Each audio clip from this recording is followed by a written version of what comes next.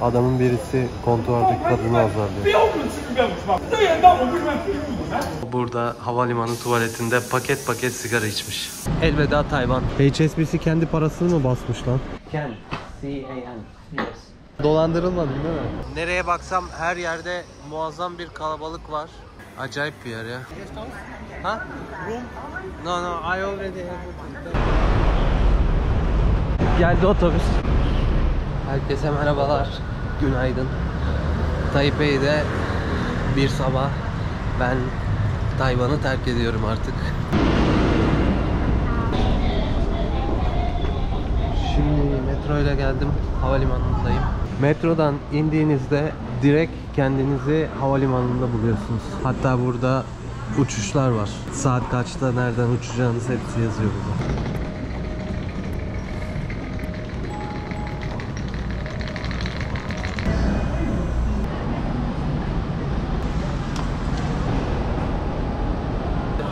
Şu anda bir hostes sürüsüyle karşılaştım. Havalimanına bir anda girdiler. Evet gördüğünüz Tayvanlı hostesler şu anda uçaklara doğru gidiyorlar. Bu kadar hostesi bir arada gördünüz mü hiç ya?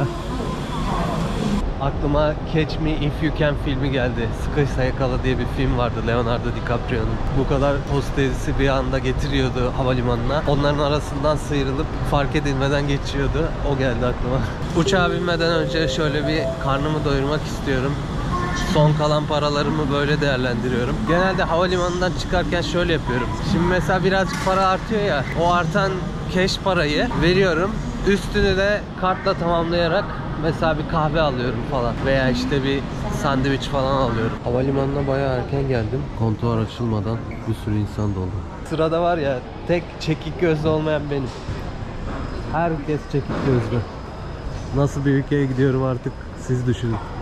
Bu arada şu amca bayağı bir atarlandı ya. Çok fena azarladı kadını.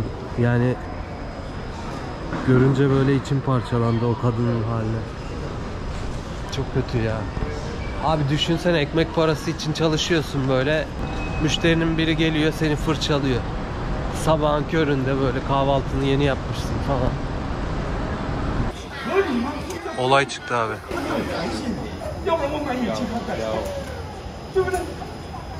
Adamın birisi kontuardaki kadını azarlıyor.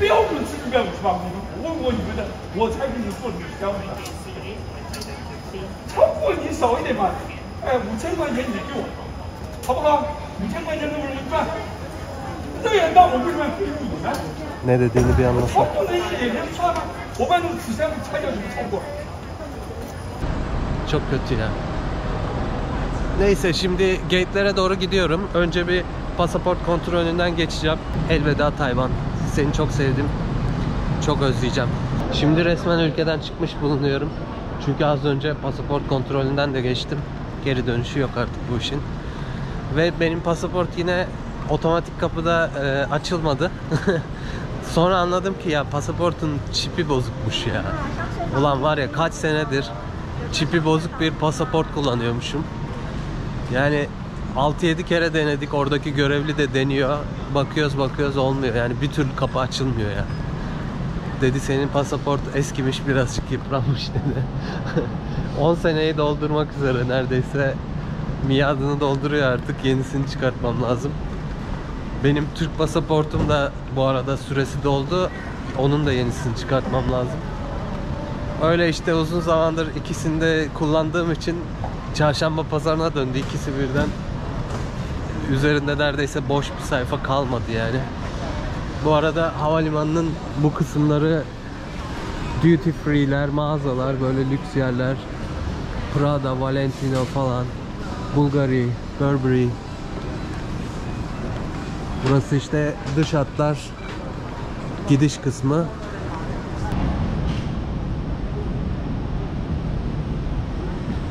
Havalimanında masaj servisi varmış. Evet masajın yapıldığı yer burası. Ayak masajı ve vücut masajı. Bunlar da masaj odaları. 15 dakikası 300 Tayvan doları. Burası da havalimanının yemek bölümü. Bunlar McDonald's'ı çok seviyor bu arada. Zaten McDonald's'ı sevmeyen bir ülke pek görmedim daha. Ben sevmiyorum bir tek.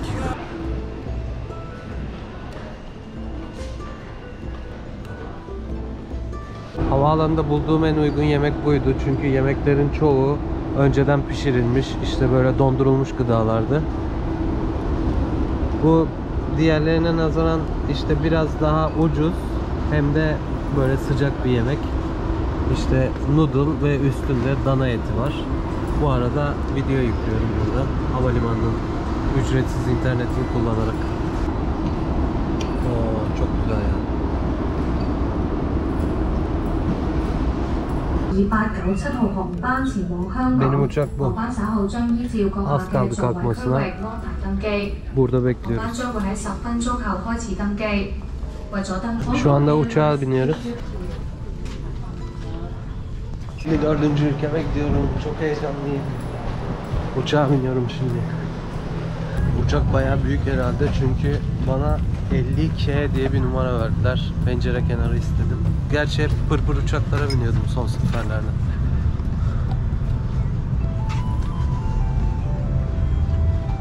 ...47... ...48, 49... ...49... Aha da 50.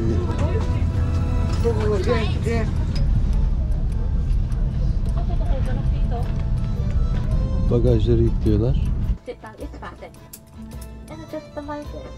to release the the SIP left the back the.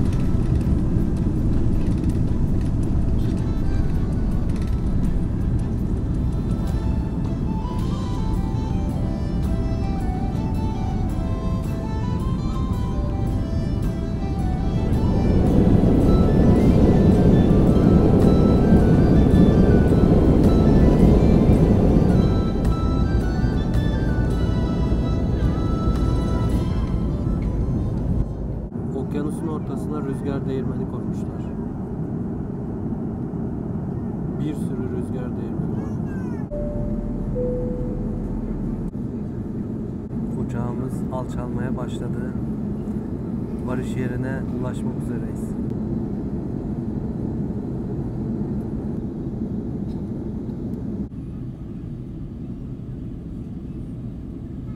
Uçak iniş için manevralar yapıyor. Adaların neredeyse hepsini şehirleşmeye açmışlar. Cabin crew, please be seated for landing. Thank you.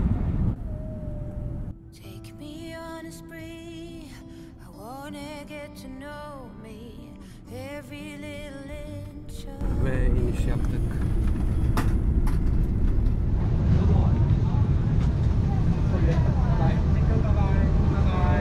Bye bye. Havalimanında tuvalete girdim. Burada diyor ki sigara içmenin cezası 5000 Hong Kong doları. Lan burada nasıl sigara içilebilir ki? Ama içen bir arkadaşım var. Onun için anlattım size. İzlemediyseniz videosunu mutlaka izleyin. Buradan Semih Taşçı kardeşime selamlar. O burada havalimanı tuvaletinde paket paket sigara içmiş. Helal olsun kardeşim. Bu arada tuvalet çok güzel ha. Tuvaletler çok güzel. Gıcır gıcır tertemiz. Git git bitmiyor abi. 10 dakikadır 15 dakikadır böyle bu yürüyen yollarda gidiyoruz. Hala daha gidiyoruz yani pasaport kontrolüne gideceğiz. Git git bitmedi. Daha önce sanırım aynısını Malezya'da yaşamıştım. Immigration'a yani pasaport polisine trenle gidiliyor. Havalimanı çünkü o kadar büyük ki trenle bir başka tarafına geçiyorsun. Zaten çok fazla yürüdük havalimanının içinde. Bir de üstüne şimdi trene binip immigration'a gideceğiz. Ondan sonra oradan da bagajları alacağız. Sonra da şehre gitmek için bayağı bir yol gideceğiz. Trenden indik. Yine devam ediyoruz böyle yürüyüş bantlarından. Evet pasaport kontrolünden geçtim. Çok hızlı oldu. Adam bana 3 ay kalma izni verdi. Ağustos ayına kadar kalabilirmişim. Hiçbir şey sormadı. Hello bile demedi. Çat çat çat hemen pasaportun arasına şöyle küçük bir fiş gibi bir şey koydu. Onun üstünde yazıyor. Bu tarihe kadar kalabilirsin diye yazıyor. 54. ülkem lan. Vay be. Nasıl başladı, nereye geldi? 1, 2, 3 derken. Vay be. Benim bavul nerede ya? Havalimanı o kadar büyük ki bakın şu 17 numara en sonda. Oradan başlıyor. Böyle şu en son pencerenin orada bitiyor. Aha geldi benimkisi. Koçum benim be. Hoş geldin. Hoş geldiniz.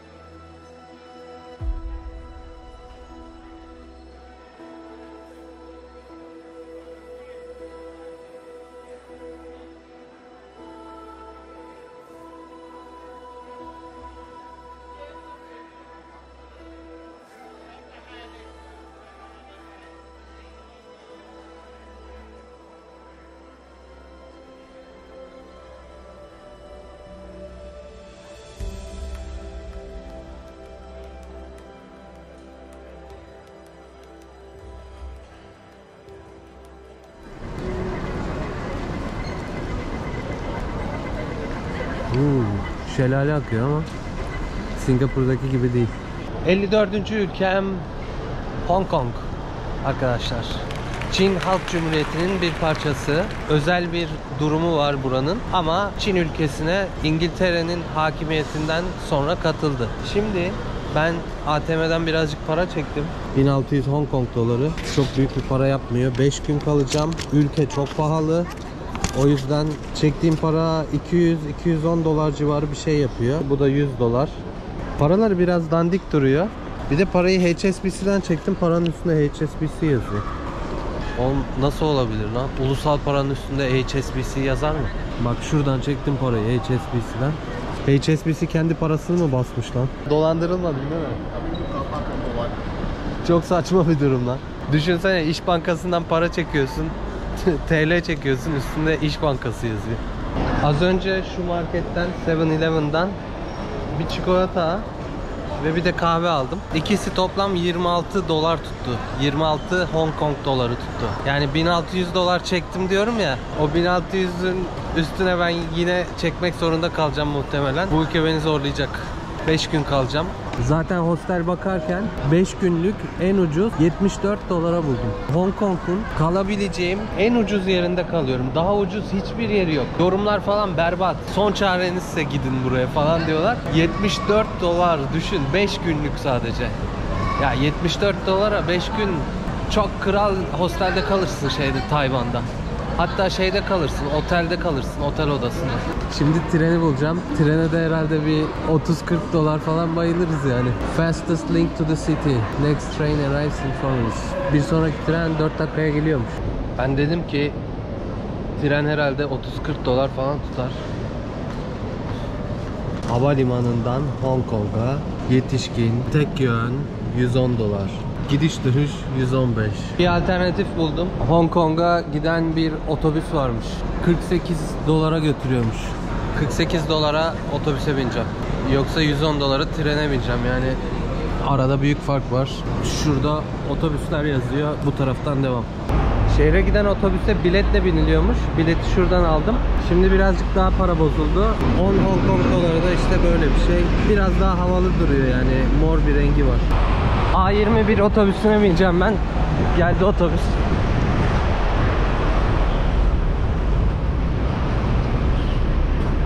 Ha yetiştim.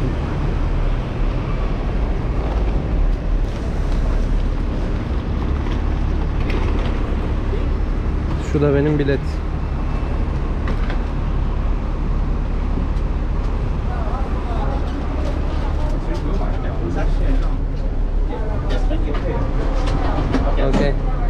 Seçe. Oo her yer çanta. İkinci kata çıkıyorum. Aşağıda yer yok. Otobüs bayağı güzelmiş. Aa. Neyse. İkinci kata bir ekran koymuş adamlar.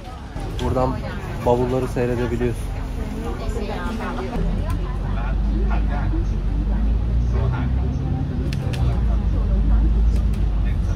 Çok kalabalık bir yer. Her taraf insan, her taraf bina, araç.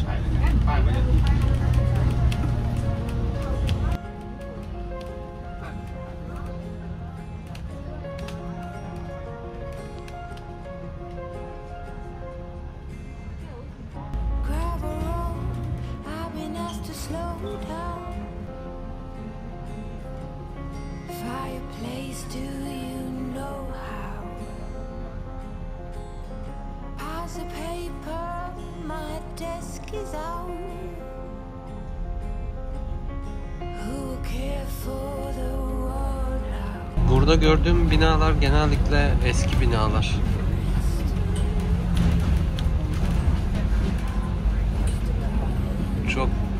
Kötü durumda sıkış sıkış böyle apartman binaları görüyorum. Altları hep dükkan dolu aynı Türkiye'deki gibi. Ama gördüğünüz gibi her yerde de ağaçlar var. O güzel işte. Evet. Geldim. Hong Kong şehrine adımımı attım. Karşıma kocaman bir yapı çıktı şurada. Oval bir yapı. Bu otobüste geldim. A21. Güzel geldik be. Hızlı geldik. Sheraton Otel. Yalnız gelirken çok lüks araçlar gördüm. Her taraf Tesla dolu. Ferrari'ler var, Lamborghini'ler var. Acayip zengin bir memlekete geldiğimi fark ettim yani. Nereye baksam her yerde muazzam bir kalabalık var. Her taraf insan dolu ya.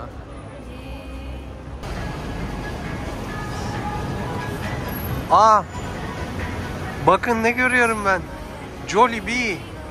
Filipinlerin meşhur markası Jollibee fast food. Hatta benim takipçilerden bir tanesinin adı Jollibee nickname'i yani. Bugün ikinci kez yerlere tükürmeyin diye bir uyarı görüyorum. Demek ki çok oluyor böyle tükürenler. Benim kalacağım yer burası. Hong Kong'un en ucuz yeri. Aklınızda olsun. Ha? No no, I already Hostelin açıklamasında diyor ki aşağıdaki size bir şeyler soran adamları kale almadan yürüyün içeriye diyor. Ben de öyle yaptım, yürüdüm. Ha, Thank you. Başkası da soruyor. Döviz büroları var her tarafta. Acayip bir yer ya. Ucuzcuların olduğu bir yer yani.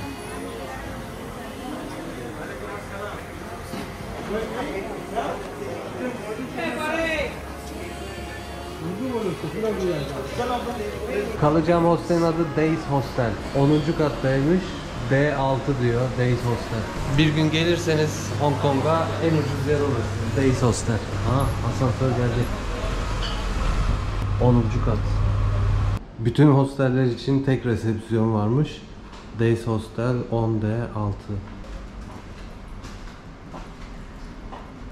Nasıl bu? Tell your name. C-A-N. Yes. Dong. She's with that in. You know.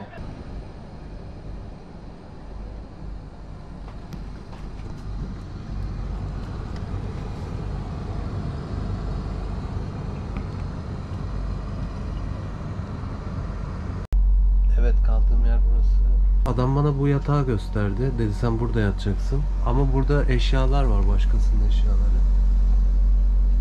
Sonra şurada yatan arkadaş bana dedi ki ya dedi sen aşağıda yat dedi. Aşağıda kimse yatmıyor dedi. Ben şimdi aşağıda yatacağım. Ama adama dedim ki şunlar dedim hangisi benim dedim. Adam dedi ki bu çalışmıyor dedi. Yani dolap yok. Dolap olmadığı için çantamı bir yere bırakamıyorum. Çantamı o yüzden sürekli yanımda taşıyacağım. Böyle berbat bir durum. Burası çok gürültülü. Böyle klima gürültüleri geliyor.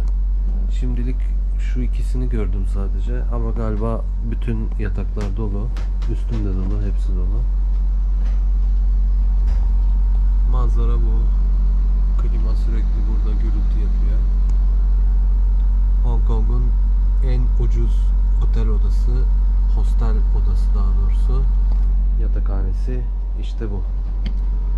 Burada 5 gün kalacağım. Ve şuraya var ya 74 dolar 5 günlük para ödüyorum ya. Bu paraya var ya Tayland'da kalıyorsam yani bungalovda kalırım böyle balkonlu hem de havuzlu olur. Havuzlu, balkonlu bungalovda 5 gün Tabii canım. Çok güzel kalınır. Çok çok kıyak bir yerde kalırsın Tayland'da. Krallar gibi olursun. Hatta sabah kahvaltını belki balkonuna falan getirirler yani. Ücretsiz kahvaltı alabilirsin yani. Belki bazı yerlerde öyle oluyor. Belki yani balkonuna bile getirebilirler. Üstüne para artar, ayak masajı falan yaptırırsın yani. Abi Tayland'a gitmek varken işte Hong Kong'a gidersen böyle olur. Neyse. Belki 5 gün sonra Tayland'a geri dönerim. Gezginlerin her zamanki durağı dönüp dolaşıp Tayland'a gidiyoruz. Niye ama niye? Çünkü abi ucuz, güvenli, güzel. Kendimizi evimizde hissediyoruz. Rahat. Rahat yani rahat. Çok rahat yer. Tayland'ın ben kuzeyini görmedim ya. Kuzey Tayland iyi gider bana. Hep deniz kenarlarını gördüm. Neyse şimdi birazdan bir yüklemem var. O yüklemem bitince aşağıya ineceğim. Şurada yüklememi yapıyorum. İnternet bu arada güzel, bayağı hızlı. Aşağı ineceğim, bir şeyler yiyeceğim. Sonra gelip yatıp uyuyacağım çünkü bugün sabah çok erken kalktım. Bütün gün yollardaydım. Tren, uçak, otobüs falan. Artık yatıp uyuyayım birazcık. Çünkü yolda da çok uykum vardı.